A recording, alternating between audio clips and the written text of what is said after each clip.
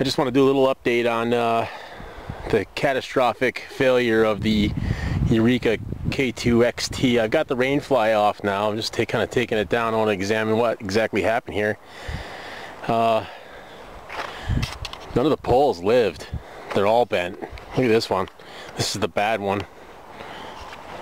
You can see the one in the back there too. That spine is just bent 90 degrees. This one's really bent. See the bend? Hammered. Hammered. Nine inches of snow. Just fell in uh, in an overnight period. Not a big deal. This should have easily taken that. It's got the front corner right up off the ground. This thing is so bent up and mangled. The tent's fine. There's water inside but just because when the snow caved it in it sat on top of it and inevitably that's going to cause water to go in no matter how good the tent is so I don't blame it for that. But uh, if the if the poles had been a little better they're really lightweight poles I don't know if I would use poles that lightweight in a tent that's supposed to be four season. I mean, this, this didn't take any abuse. What if it was two feet of snow? My god.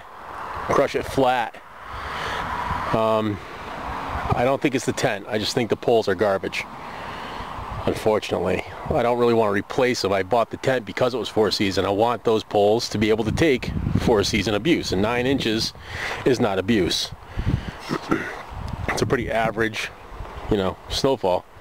Um, but once again, check out the Spitfire. Tall and proud. It's not a four season tent. There's nothing wrong with this thing. my god, this thing's great. I'm wicked impressed with this. Oh yeah. That's fantastic. I'm to climb in. Let's see what it looks like. I bet it's soaked inside, but there's no real protection from that on this tent. There's not meant to be.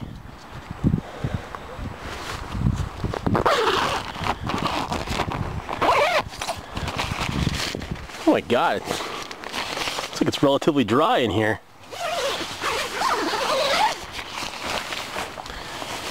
That's fairly dry in here. This is my new four season tent right here.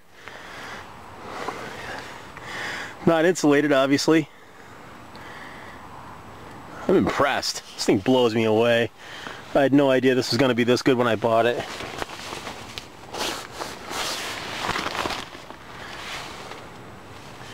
Good deal. Yeah, well, there's a Spitfire 1. If you want to do four season stuff, I should also mention both of these tents sat out here in some and uh, a few hours worth of pretty gusty winds we had one night. And oddly the K2 XT stood up to that no problem. That was before the snow. It got really beat on by the by the wind. It was no problem. It was uh, perfectly straight before that. But the uh, the Spitfire went through it. No problem. You see the snow piled up on the side. Um, no problem whatsoever with that and uh, then it lasted the snowfall. It gathered up a little bit right here. You see there's a wet spot right there, but that was the only place it really hung on to snow. The rest of it, it, it, it shoved off.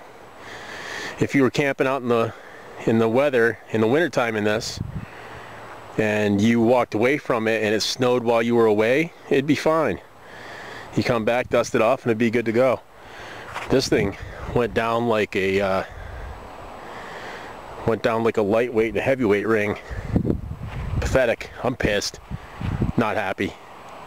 I'm going to give Eureka a shout, see what they do about it. I'll keep you posted on anything that comes of that. But it didn't do its job, that's for sure.